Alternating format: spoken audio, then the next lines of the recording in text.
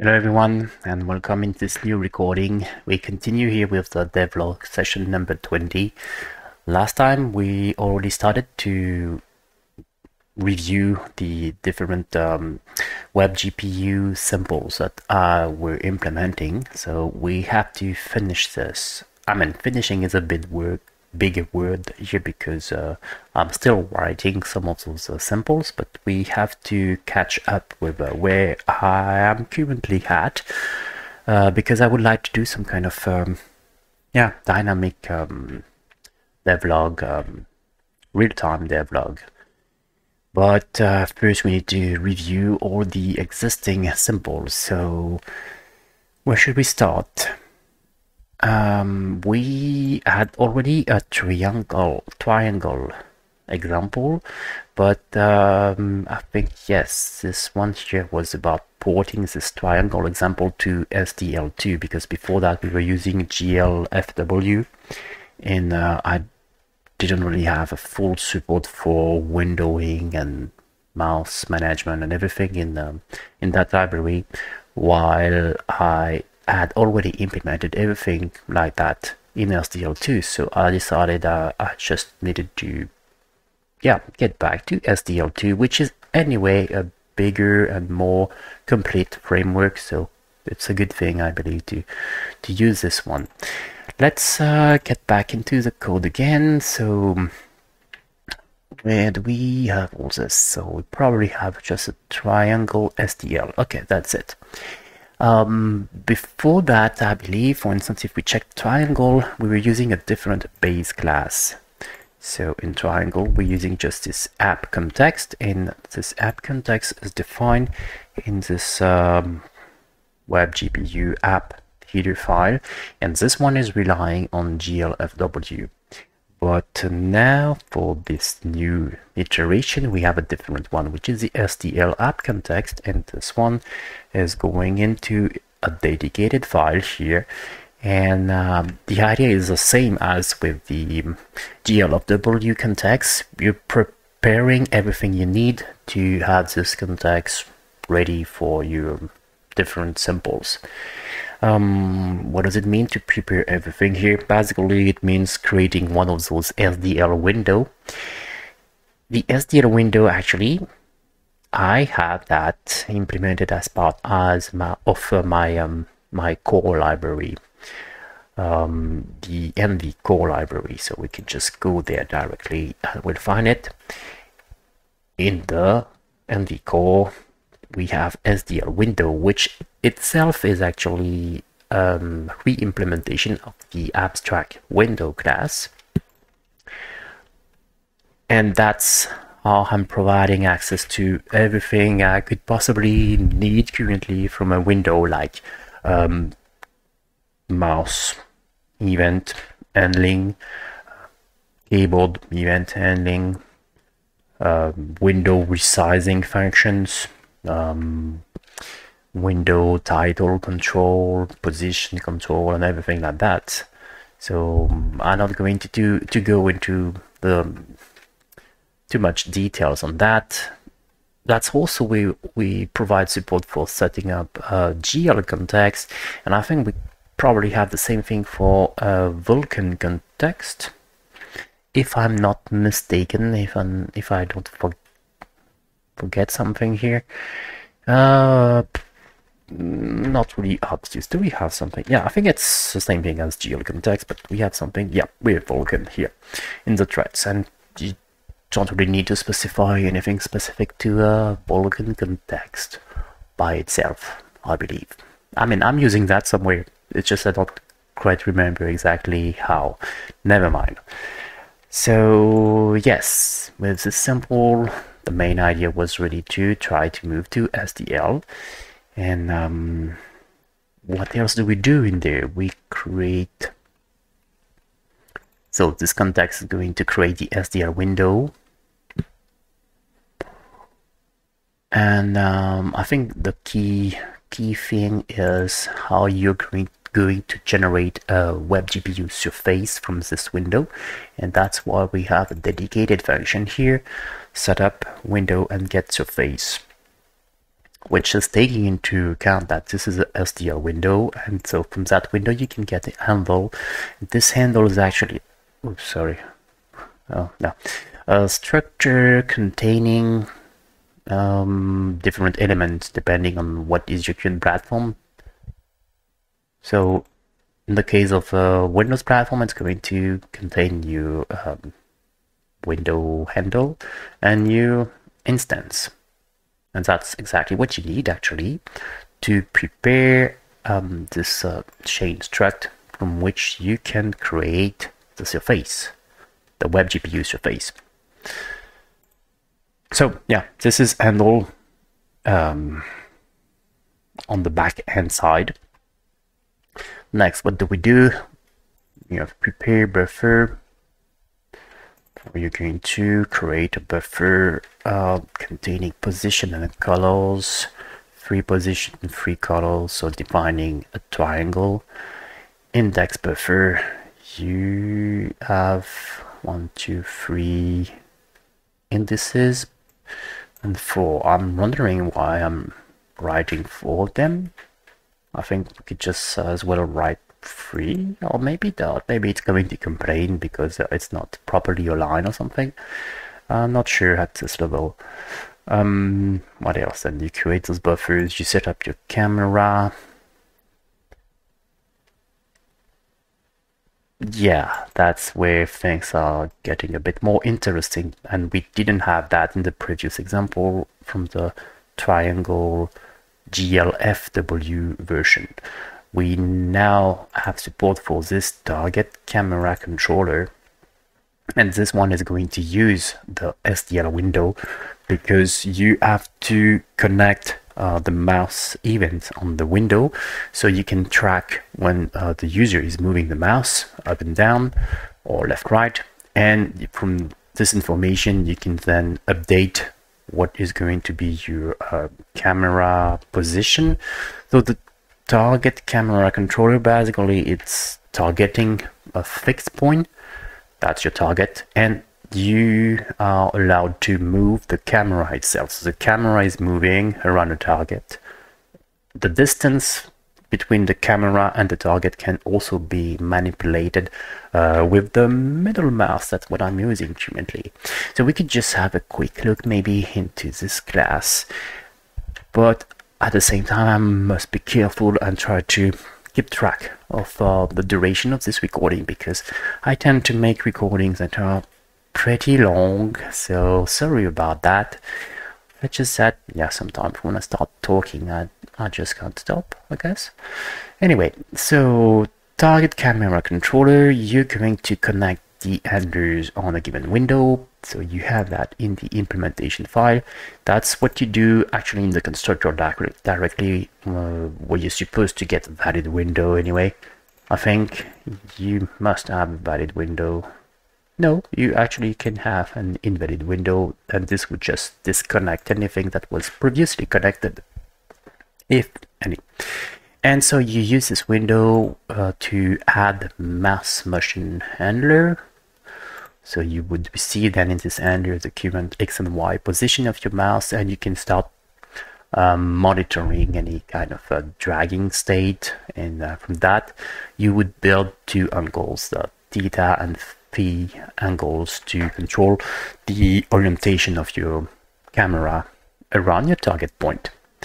So yes, and I think we have the update function here that's where you're going to try to build the transformation matrix uh, for your camera. So you just need to figure out what is your camera position and the target position itself is usually not changing. It's just that uh, you have the view distance which is used to position your camera correctly compared to your target. And the forward distance, this is what you're computing from a quaternion here, which is uh, updating the default forward direction. I don't really remember what forward is. It's supposed to be plus Z by default in a WebGPU, right? Yes, that's it. So with this function, we can update the camera position dynamically. So we are creating this camera controller and we need then to call update on this controller uh, regularly and I think we have that somewhere. Let me see, probably a bit bit down here. Yes, in the render frame, the first thing we're going to do then is to call camera controller update. Once you have updated that component, what's going to happen is you get those updated angles. No, it's also connected to the camera itself, right? Um, yes, it, it has access to the camera, so it can set the matrix directly. Set look at will set up the view matrix in this camera object. But then what you need to do next is to upload this matrix um, in the buffer, in a buffer for your WebGPU context. So this is what we do most probably in this update uniform buffer. So indeed, you have the function just before, you're going to retrieve the projection matrix and assign that into your data, yeah, your CPU copy of the buffer data. Um, one thing, I don't know if I've discussed that in a previous recording, but currently I have a kind of issue, I could say, because um, in my matrix 4D implementation, I'm not using the same convention. Oh, what do I have here? The same convention as uh, in WebGPU. So I'm using. Um, what am I using? I think uh, I'm using uh, row. No, I'm using column major matrices, and WebGPU expects uh, row major matrices or it's the opposite. I will need to check that, but I don't want to do that now. So currently I have to transpose the matrix data when I'm preparing to copy everything on the GPU. So that's where I'm doing it. And we also do that for the view inverse matrix here. And for the model matrix, we just keep that to identity. We're not really using it for now. And when you're ready, then you can just write this uh, data into your target uniform buffer on the GPU side. So when we're done with that, you execute your render pass and you present the image. This part I think is not changed compared to the previous um, recording. Mm, it's still pretty tricky in the setup application here. Preparing the buffer, buffers, okay, preparing a depth texture, uh, I'm still here building binding groups kind of manually this way, which is something uh, I'm not doing anymore lately because this is pretty much encapsulated, but uh, let's not go too too much uh, ahead of uh, ourselves here. So yes, you can still build your binding groups here, defining that um, yeah, this is a binding group that will be referenced at referenced as default later on. And we had a uniform buffer definition with this minimal size, and then we assign a buffer corresponding to this entry, which is index zero, and that's the buffer that is going to be assigned for our binding group. So the add uniform buffer is used to define the binding group layout actually.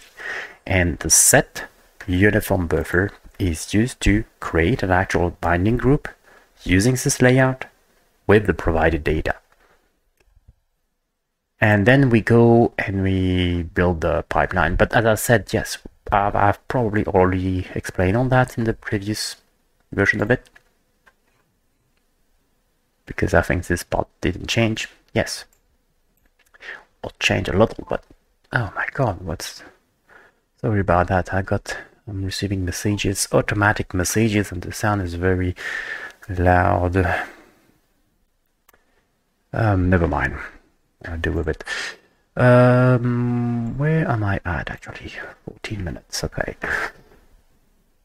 So let's maybe just try to run this um, this code, or maybe we should also have a look at the triangle GLSL code first. What do we have in this one? We have a definition of the uniform buffer, which is going to be the binding 0 in the group 0. So from there we can retrieve the projection matrix, the model matrix, and the view matrix, okay, in this order. And then we have a vertex input, which is, uh, yeah, the vertex buffer containing both position and colors for each vertex and the output is what we're going to generate outside of uh, the vertex function. And for this vertex function we just take the takes the input position and multiply by the projection view model matrix to generate the output position. And then we apply a uniform oh it's not a uniform color because you have different color for each pixel. So we should just see as uh, probably exactly in the previous um, version of this uh, simple a simple triangle with three colors. Let's try to run that. So GPU triangle SDL I guess. Yep. And now the big difference is this. You can use the cursor to um, turn around or you can just move away or get closer to, to this triangle and as far as I remember this was not possible in the previous version where I just have a fixed triangle and here I cannot drag I cannot use a wheel or anything. So that's it for the triangle SDL what else do I need to mention in there Mm-hmm. Two cubes. Let's go to the next sample directly. I mean, there are quite a lot of them. I can't really keep detailing all this so much. I need to go faster. So, two cubes. What do we have in there?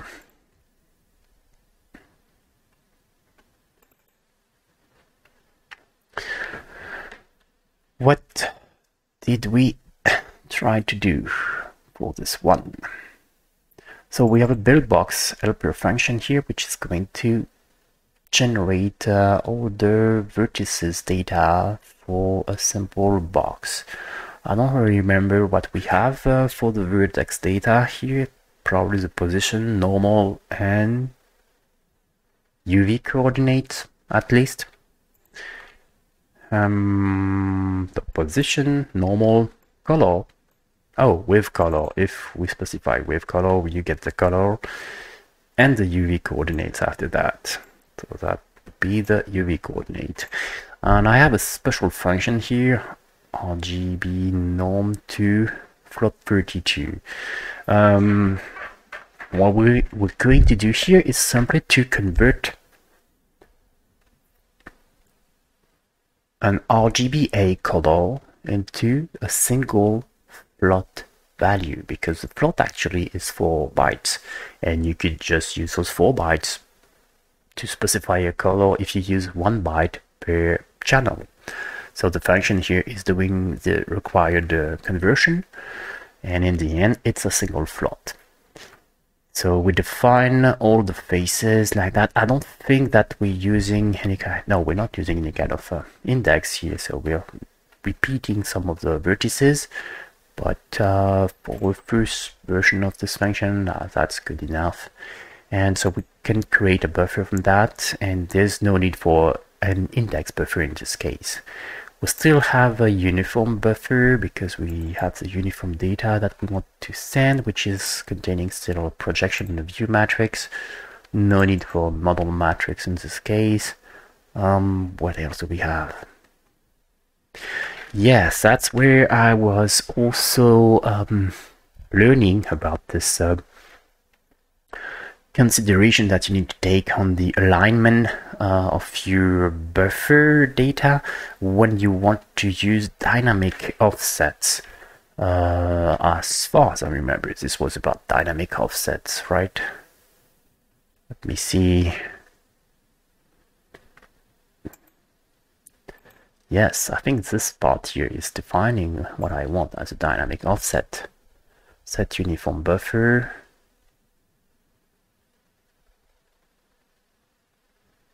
Size. Now that's the offset part here. It's not specifically dynamic. Why do I have dynamic offset in mind then? Mm -mm -mm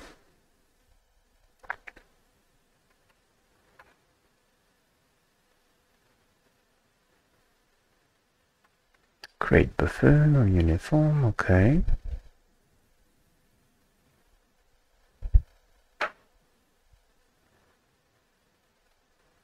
Set uniform buffer.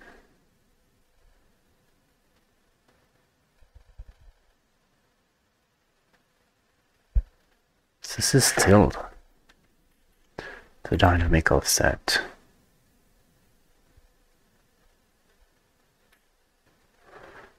Mm.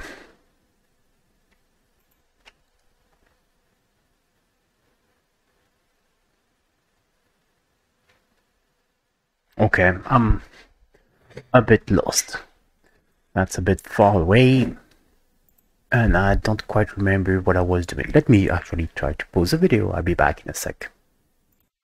Okay, so actually no, this was not really yet about dynamic offsets for a uniform buffer.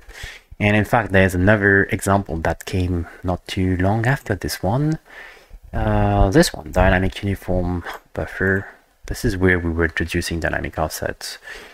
Uh, but anyway, if you're binding some uniform buffers, you have to respect this um, alignment constraint of uh, 256 bytes, which is pretty large if you think about it, but that's how it is in WebGPU, as far as I understand. Anyway, so what do we do, which is worth uh, mentioning here? Am I might mm, build render pipeline. I think this part was already done this way, in the previous example. Then yeah, we can just set the fragment entry, the layout, vertex buffer, defining what you have uh, in your vertex buffer. So we're doing the same thing here. Um, so we're going to assign a vertex buffer and in this vertex buffer there will be for each vertex a position, then the normal, then the color, and then the UVs because the box that we have been building just at the start here. Uh, yeah you had the color in there and that's the buffer that you're going to assign. So again we're going to set up the camera the same way and we prepare those different um, binding groups. What do we have exactly here? bind shared um, that's a uniform buffer where you have the camera matrices. Then bind model 1. You have the model buffer in there. A uniform buffer with the model buffer. Oh, actually we have three different cubes here, I think. Not two. So you have the first model buffer, then another model buffer which is still using the same buffer but with the offset and then again the same buffer but twice the offset. So we're pointing to three different model matrices in fact which are stored in this model buffer. And this model buffer you are probably copying data in this um, dynamically. So we start with preparing the buffer here at start there is no data. But then in the update uniform buffer, you're going to update the matrix, the transformation matrix for your model for the three different cubes, because num cubes is most definitely free for now. And you just um, write the buffer data. That's not really an uh, optimal way of doing it. Or it is because uh, you can't really copy. I mean, you could have a very large data uh, with this um, alignment of 256 bytes. But, um, on the CPU side, I mean, but that was not really, yeah, making a difference at this level, I believe. Okay, so that's it for the update of the uniform uh, data for the models. What else should we cover? Then you set up the rendering with the two cubes um, shader program and you build a render bundle you set the pipeline you assign this shared group you set the vertex buffer also and then you assign the first bind group to draw the first model. And you have 36 uh, vertices to draw. Then you draw the second model. Note that we keep the the group at the index 0 here because this one is shared. And uh, you do that for those three different models and we create a render pass and we had this bundle that we just created. And uh, we have an encode function here to set up uh, the render pass initial state. And then the render bundle will be executed in this render pass. And that's it. Let's see. GPU uh, cubes um and again you can use a camera to rotate around those three cubes and um, yeah zoom in or zoom out. Cool. Yes I think I should stop here in fact already. Though we didn't go very far. Uh, just covering those two examples here. What was the biggest change mm, I think it's probably this one I mean this one also the bind group builder. This is actually a key component um, that I'm using um, to generate everything concerning the um, bind groups. Um, same thing for the render bundle builder also. But um, later I'm going to basically encapsulate those two components and hide them behind uh, where are they? Hidden actually. The, inside the render node I believe? Yes I think it's uh, in a render node but we'll come to that a bit later. Anyway so for now let's just say we stop here and we'll make another recording afterwards to continue with uh, the other remaining samples. Thank you for watching and see you another time. Bye bye